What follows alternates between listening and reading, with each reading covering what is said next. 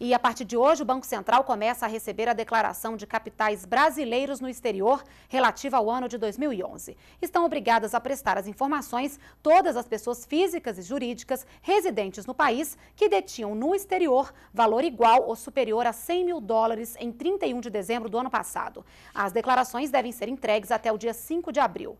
Todos os detalhes estão no site do Banco Central do Brasil.